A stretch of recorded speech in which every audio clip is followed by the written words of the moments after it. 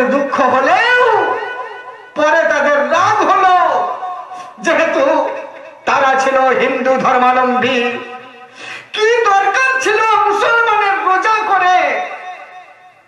আর এই নিজেকে শেষ করে দেওয়া, আত্মহত্যা করা। কেউ কেউ বলল, ও গেছে না ভালো হয়েছে। বড় হলে হয়তো মুসলমান হয়ে যেত। সবই সবই ওই উপরওয়ালার ইচ্ছা। সব। কিন্তু কি করে ঘটলো জানো? ওই হতচ্ছাড়ি ওই হতচ্ছাড়ি ওই সারদার জন্য। ছোটবেলা থেকে মেয়েকে যদি ওই মুসলমানদের বাড়িতে যাওয়া বন্ধ করাতো, এমন কি হতো না? এ খবর নিয়ে আবার অনেকে উল্লাস মানাতে লাগল। আনন্দের গান গাইতে লাগল। অলি অলিতে বস্তিতে বস্তিতে শোনা যেতে লাগল। কি শুনবেন? শুনুন।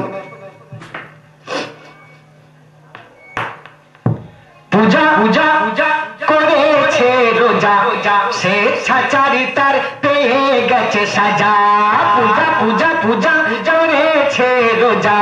স্বেচ্ছাচারী তার পেয়ে গেছে সাজা।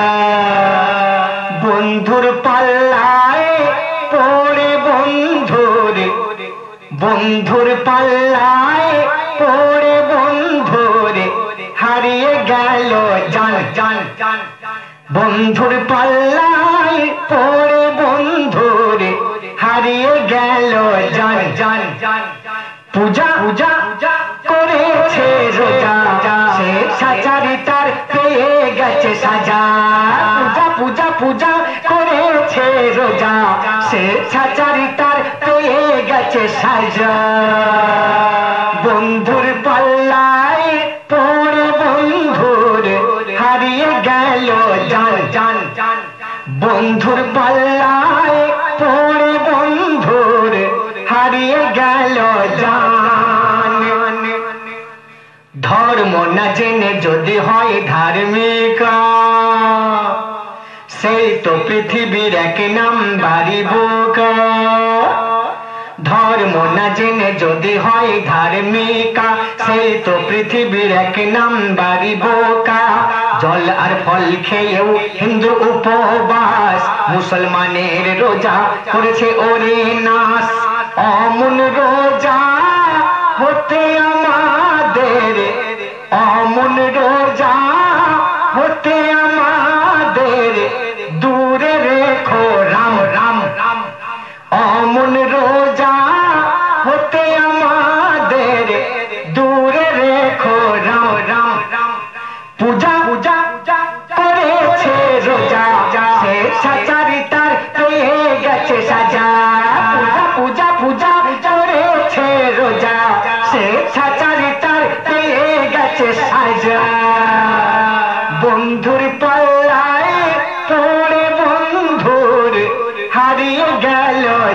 জান বন্ধুর পাল্লায়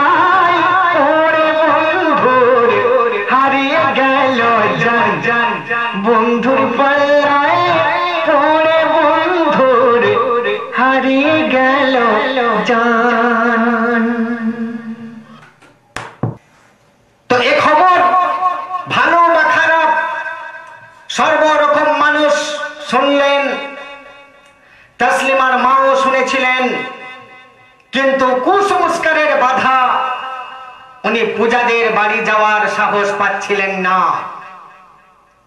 তসলিমা কিন্তু এ খবর কিছুই জানতে পারে নাই, কারণ সে আসরের নামাজ পড়ে বদ্ধ ঘরের মধ্যেই পড়াশোনায় ব্যস্ত ছিল। কিছুক্ষণ পর বাইরে বেরিয়ে মাকে বলল, মা মা গো মা, কই? পূজা তো এলো না মা, পূজা তো এখনও এলো না। কেন পূজা কি আসবে না নাকি?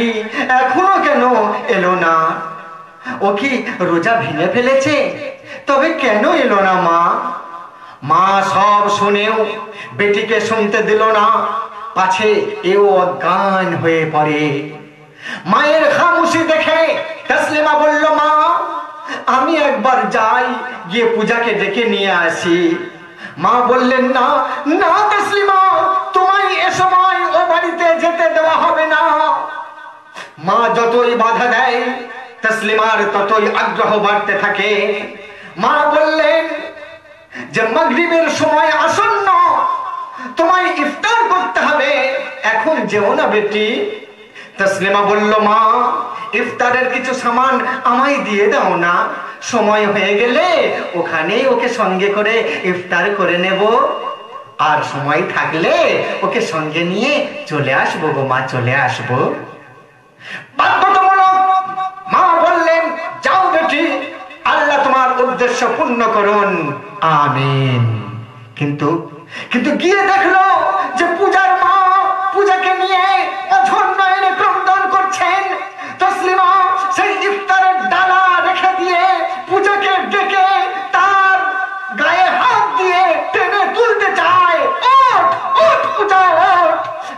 মানলো তসলিমা যে তার বন্ধু পূজা তার ডাক আর শুনতে পাচ্ছে না। তখন সেখানেই বসে বসে দুই হাত তুলে আল্লাহর কাছে ফরিয়াদ করতে লাগল। কি ফরিয়াদ? পরবর দিগারে আলম, একটু করো গোরহম, রোজা করিম দাও ফিরিয়ে সিনাতে দম পরবর দিগারে আলম পরবর দিগারে আলম একটু করো গোরহম রোজা কারিনি পূজার দাও ফিরিয়ে সিনাতে দম পরবর দিগারে আলম আল্লাহ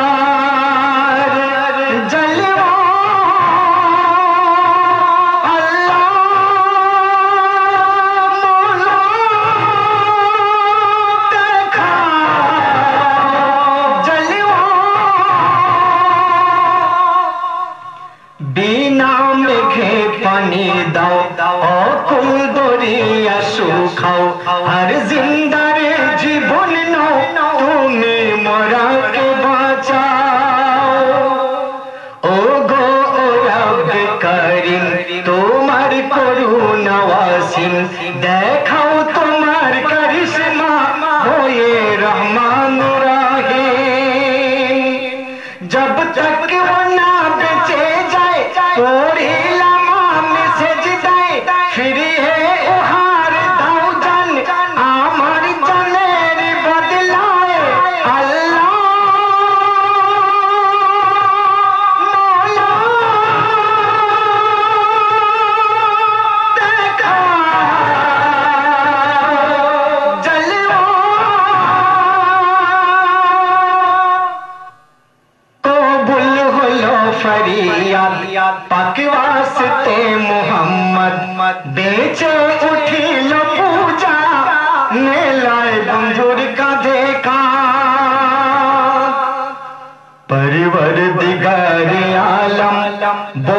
বহুত করে ছোড়াহম সচ্চা রোজা করিনির প্রতি দেখাল করম পরিবর দিগারে আলম পরিবর দিগারে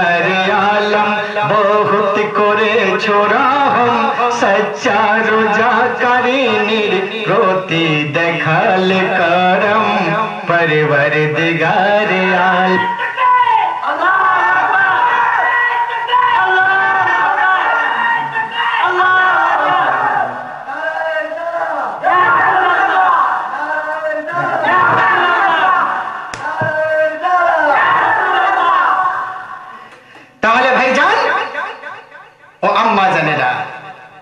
শুনে বুঝতে পারলেন তো যে তসলিমার সেই ফরিয়াদ কেমন ছিল? যে ফরিয়াদ আল্লাহর আরশ হিলিয়ে দিল। চলে যাওয়া রূহ পূজার দেহ মধ্যে ফিরে আসতে বাধ্য হলো। শুধু রূহ ফিরে আসা কেন? আপনার যে কোনো বাসনা সেই আল্লাহ পুরা করার জন্য প্রস্তুত আছেন। আমি আপনি চাওয়ার মতো চাইতে পারছি না গো। চাইতে পারছি না। শয়তানি ঢোকা